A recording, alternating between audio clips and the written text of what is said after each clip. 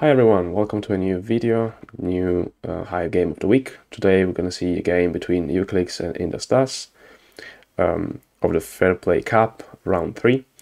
Um, Eucalyx is part of the team Guardian of the Beetle Gates uh, and uh, InDusDus is part of the Hungarian Hive Club.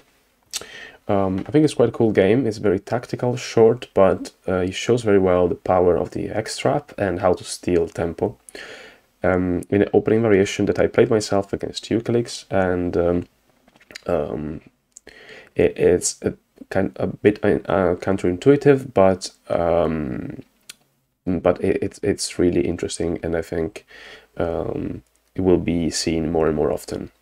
So um, let's start. So white goes with the pillbug, and black responds with ladybug. white plays the queen in line which is known for being quite an aggressive choice. Um, I can't explain right now, maybe I'll do another video, but um, there are some ideas in the shape of the hive that are possible when you play the queen in line. And so this is what is called J configuration, when the white queen is in line and the black queen is on the flank. Um, but we don't have time to go into that right now. The important thing is, um, so both players play um, ant a mosquito combo, right? Uh, which is very typical. A bit of light here. Um, which is very typical, right, to both attack and defend.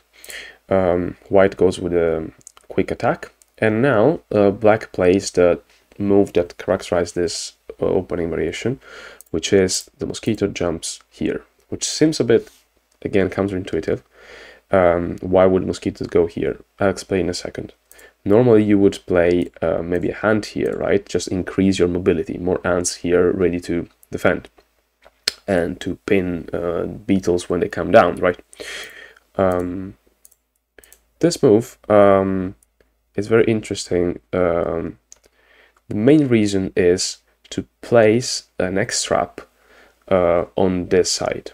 So uh, let's say, well, the game uh, the game went in a different way, but let's assume white just plays another ant, right? The idea is place pillbug here, which is a proximity pillbug. Proximity pillbug is a pillbug that um, can control two of your own kill spots, and so it can move away some attackers from there. And at the same time, it creates an hex trap. The hex trap is this structure, this almost ring, where um, and that make make sure that whenever white um, uh, takes one of these kill spots, let's say this one, he creates a ring which releases some of your pieces. In this case, the ladybug is not free, but you normally expect the ladybug to jump around and maybe attack at the same time. In this case, even this move would be good, right? So white um, needs to be more careful um, and need to decide the order of the kill spot uh, more thoroughly than normal, right? And if the ladybug can get out, you can defend and attack at the same time. So that's the main idea. At the same time, the mosquito has also the power of two pillbugs next to each other, which means that at some point, something like this might become actually um, an interesting option and very dangerous for white, right? You just warp the white queen into this trouble pit. Um, so let's see how actually the game went. Um, so mm, Eucalyx has played this variation against me, so he knows very well what was coming. And he tried to play um, a different variation that uh, denies black to play this um, this hex trap and basically try to complicate the game a bit. Uh, we'll see that it won't work very well, but it was worth trying. Um, has um, I have experience with this opening for black and it actually worked quite well a few times. So um, black plays a, plays a new ant here. The idea is not only to increase the mobility, but also to self-pin the mosquito here. If you place the ant somewhere else, then um, the white mosquito or the white pillbug would be able to warp the mosquito away. But we, we said we need the mosquito here, we like the mosquito here as black, so we try to um, keep it as uh, uh, as long as possible in this place. So black ant here. So the game went on with this. White goes for a beetle attack. of course, this can be pinned, but the idea is not uh, for the beetle to go up, but uh, you sacrifice a beetle in order to convert your mosquito into a beetle, which is a typical um, attacking uh, technique. The problem in this case is that the mosquito moves for the second time, so you're actually wasting mm, time, tempo, what we call tempo, wasting an extra move, and now you actually allow the hex trap to happen, right? The mosquito here was preventing black from creating the hex trap. Now black can again, which will be crucial as you'll see um, in the game. So um, let's go on. White decide to move the queen away, which is another waste of tempo, another waste of move. Um, the reason was mainly um, what we said before. So the, the white um, um, um, queen could have been warped in here at some point, um, which makes it quite dangerous position for white. Um, so white just decided to move the oops, decided to move the queen away. It's probably not the best move. It probably should have um, embraced the risk um, rather than wasting a move, but we will we know that now in hindsight, but it's not easy to understand what's going on during the game.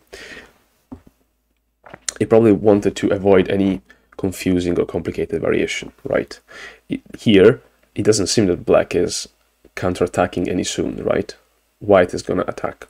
But we'll see that things are not exactly in this way. So, uh, oops.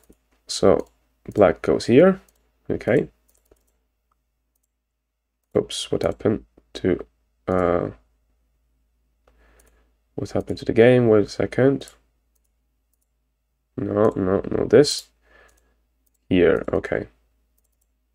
The game went on, um, oops, what happened? okay, sorry. Um, let me, let me re re um, load this. Okay, so black um, keeps attacking, like it try starts the counter attack. As we said, black seems a bit behind, but we'll see that that's not the case um, because of the hex trap that is in place. White um, goes on and prepares a direct drop here, so I can place one of the pieces from the hand directly here, which normally save you some time, uh, but in, in this case, we'll see it's not enough because you have to move the mosquito on top uh, in order to do that. And there are no other direct drops uh, around.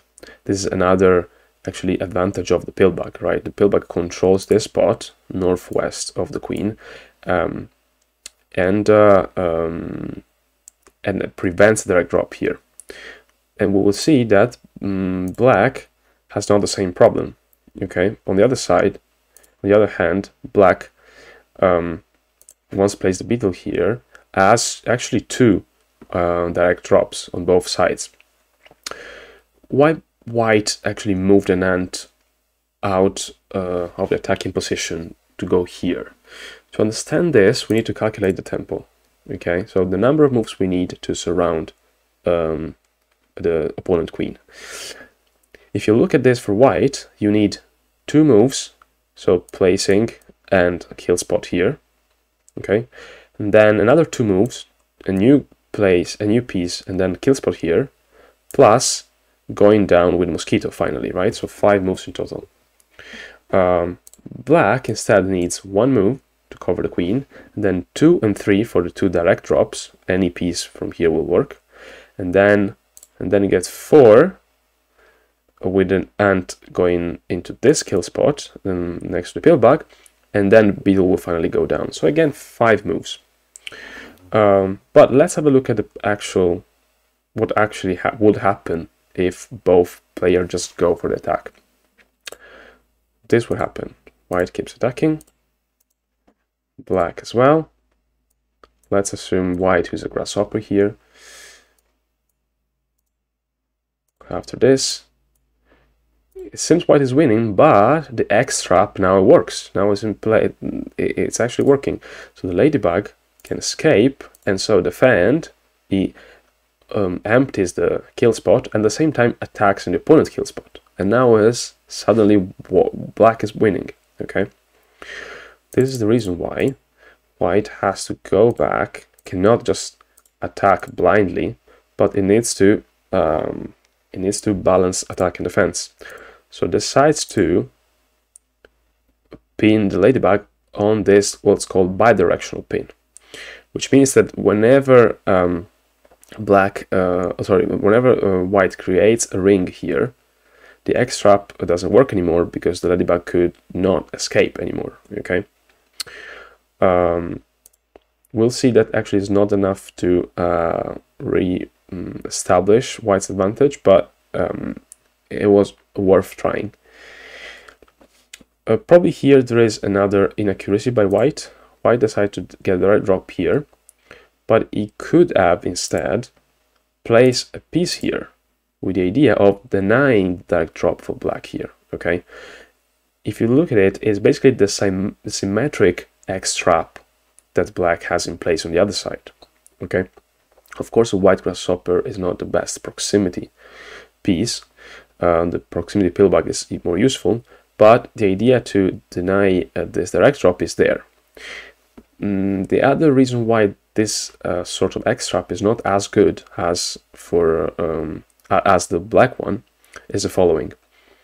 So let's assume black um, um, um so let's, let's assume uh, yeah black keeps attacking here and creates this and, and activates the hex trap okay the main idea of the hex trap for black was to get the ladybug out and attack at the same time. For white, the same idea, the symmetric idea, would be to free the pillbug. The problem is the pillbug cannot jump away. So the hex trap doesn't work as well. The only thing that white can do is just to move the ant away. Okay. So uh, the hex trap is good to deny direct drop here, but it doesn't really work as an hex trap because pillbug cannot jump out. It's not as good. Of course, in right now the ladybug cannot jump out either because of the bidirectional pin. Um, but in some situation, um, in the best situation for black, it will be able to, and that will make the difference in the game. But white decides not to play this extra here, okay, and just goes on with the attack, which I think was um, not um, optimal. But let's see how it goes. Black decide to put a piece here before white changes their mind, right, and place a piece here and another piece here to to prevent this. And white, of course, has realized that um, tempo is not in his favor, so uh, instead of keep attacking, just creates to complicate the game, putting mosquito down with the idea of warping one of these pieces into a kill spot. In, in principle, if you place one of the if you warp one of these pieces here and then you go on with the attack with the ant, seems white is winning. But there are a few problems. the first one is that um, actually the mosquito itself can be warped away by the pillbug. That is what is happening in the, what happened in the game. Okay. At the same time, the mosquito next to the, um, the black queen, which has been warped by white itself, is actually a defense, good defensive piece because now, uh, even if white decides to keep attacking, which doesn't make much sense, but if they do, um, then the black queen would just be warped away by the mosquito, right? Um, so effectively now, black is winning in two moves, and white is nowhere near to win. In the game, this is what happened. White just tried to create another ring to free the pillbug, but black simply covered the pillbug and then uh, there's basically nothing to do for white. Black plays in the last hopper, and then the last kill spot is taken by the beetle. So I think this game shows very well the power of the of the hex trap. It's very short, but it shows that you can change your tempo advantage with literally one single move on one little idea.